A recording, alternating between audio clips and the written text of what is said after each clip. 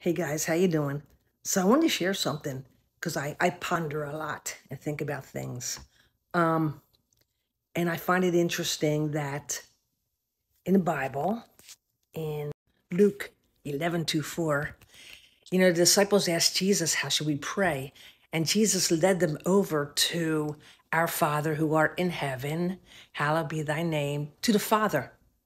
And remember, when Jesus was on earth, all he ever said to them is, I am about my Father's business. Okay? So hold on to that.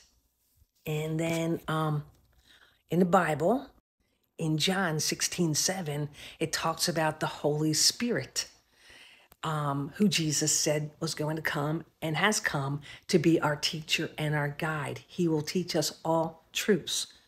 I even find it interesting. It says, You need no, no man to teach you because he will teach you all truths.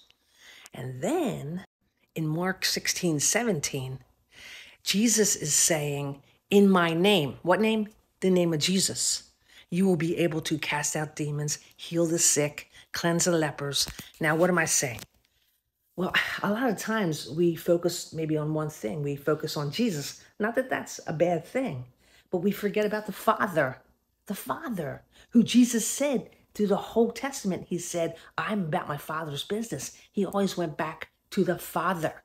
And, I, and um, so we start there. Also, I find it interesting that um, there will be a time, well, nobody knows when Jesus is coming back again, not even the Son. That's going to be for a different uh, video, but interesting. If, you know, the Father knows something that he didn't tell the Son, we'll get back to that. But my point is the Father. Don't leave out the Father when you're praying. You know, Jesus gave us that prayer. I even use that prayer, Our Father who art in heaven. I'm speaking to the Father. Uh, but also the name of Jesus and Jesus, who you call on to be saved, Jesus. That name is to be praised. That name has power in it. Jesus told us that.